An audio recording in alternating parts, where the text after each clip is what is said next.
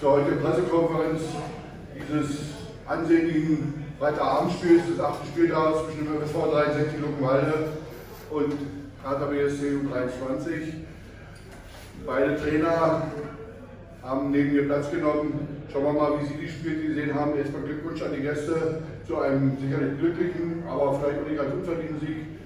Für uns war es dann die erste Niederlage, aber ich will euch nicht vorgreifen. Ihr habt das Wort. Ante, du hast das erste.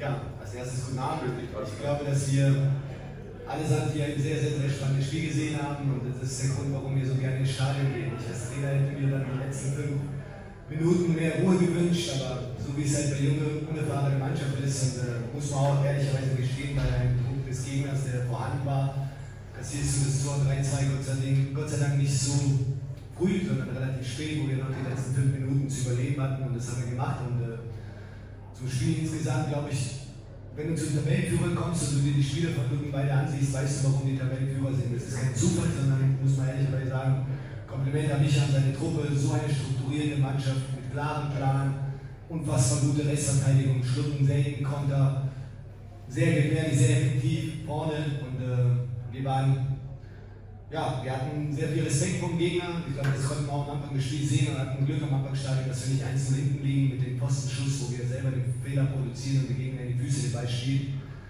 Dann ähm, machen wir ein guten rausgespieltes 1-0, finde ich, über den Flügel quergelegt, einzeln für uns und dann hoffst du, dass es ein bisschen mehr Ruhe bekommst, aber unfassbar schönes Tor zum 1-1 muss man einfach neidlos anerkennen. Und ähm, dann passiert etwas, was uns im ersten Spiel gar nicht passiert ist, dass wir zwingend im letzten Drittel werden, dass wir die Geschlossenheit, Tore schießen zu haben, dass wir aufs Tor schießen und dadurch entsteht es auch, für mich auch sehenswertes 2-1 für uns.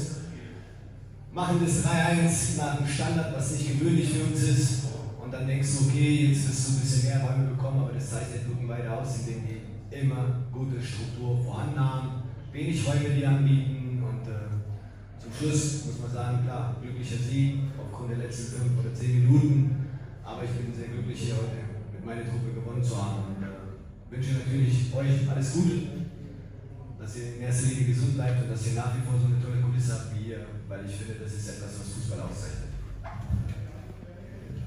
Danke für deine Worte. Dann mich eine Menge Lob von dem Gegenüber. Du wärst vielleicht lieber gewesen, wenn du nicht so viel gelobt wirst und dafür gewonnen hättest, aber denke mal, wir können damit umgehen. Deine Worte.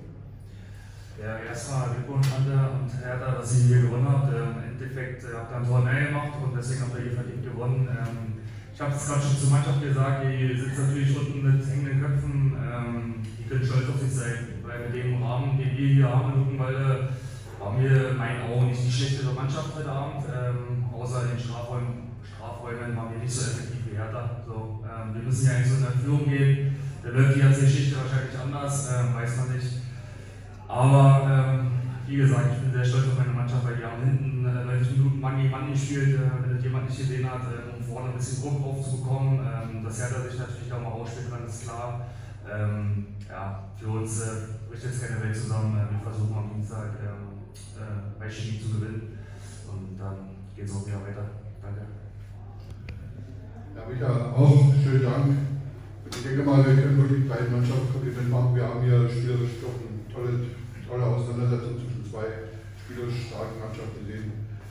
Und das nehmen wir am besten mit ins Wochenende. Dafür wünsche ich euch alles Gute. Tschüss.